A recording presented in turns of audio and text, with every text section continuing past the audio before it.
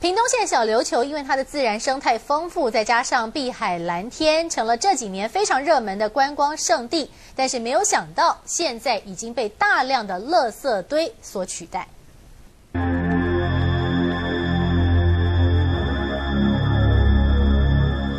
些照片可不是哪间垃圾掩埋场，而是原本风光明媚、一年吸引上百万游客造访的小琉球，如今却被网友批评要生态没生态，要休闲没休闲，根本不建议游客去玩。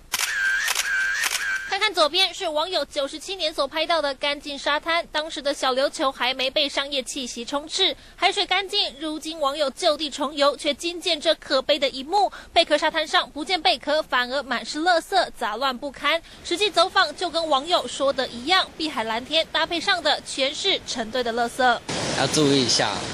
注意一下就不会踩到了。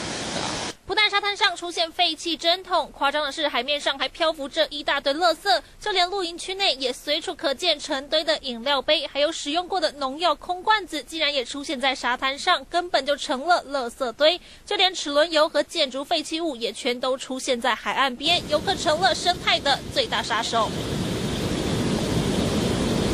网友痛批小琉球现在已经没有任何观光价值，花了钱出游却没有得到相对的旅游品质，只能拜托即将前往小琉球观光的游客们多点公德心，让四年前的碧海蓝天美景再次回到你我的眼前。中天新闻陈谷明张信屏东报道。